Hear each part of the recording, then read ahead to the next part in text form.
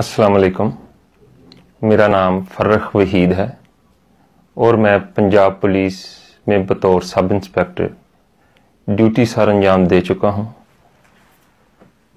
میں دوران ڈیوٹی فیصل آباد میں مختلف تھانہ جات میں بطور ایس ایچ او تعینات رہا ہوں۔ آج میں آپ کے سامنے رانا ثناء اللہ کا اصل چہرہ بے نقاب کرنا چاہتا ہوں۔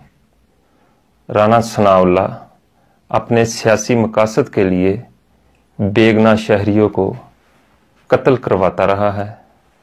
اور اس کے متعلق میرے پاس ٹھوس شواہد موجود ہیں۔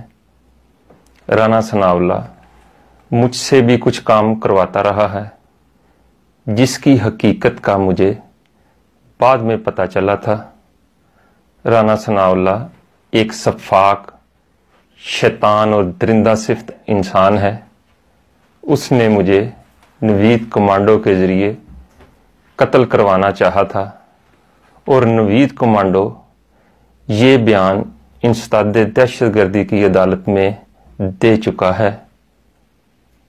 میں آپ کی توجہ ایک خاص کیس کی طرف کرواتا ہوں، جس میں نو جنوری دو ہزار پندرہ کو رانا ثناء اللہ نے اپنے درینہ ساتھی علی اصغر المعروف بولا گجر کو بھی نوید کمانڈو کے ذریعے قتل کروایا تھا۔ جس کا اعتراف وہ انستاد دہشت گردی کی عدالت میں کر چکا ہے۔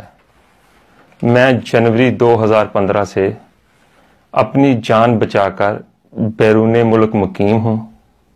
اب میں نے فیصلہ کیا ہے کہ میں پاکستان آ کر اس شیطان نما انسان کا اصل چہرہ بے نقاب کروں، تاکہ اس شہر اور صوبے کو اس شیطان صفت آدمی سے نجات دلا سکوں۔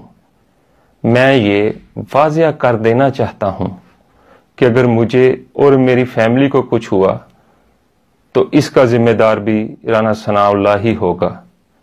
نوید کمانڈو، پہلے ہی اپنے ویڈیو بیان میں علی اصغر المعروف بولا گجر اور دیگر بیگنا لوگوں کے قتل کا اعتراف کر چکا ہے، جو اس نے رانا ثناء اللہ کے کہنے پہ کیے تھے، اور یہ ریکارڈ کا حصہ ہے۔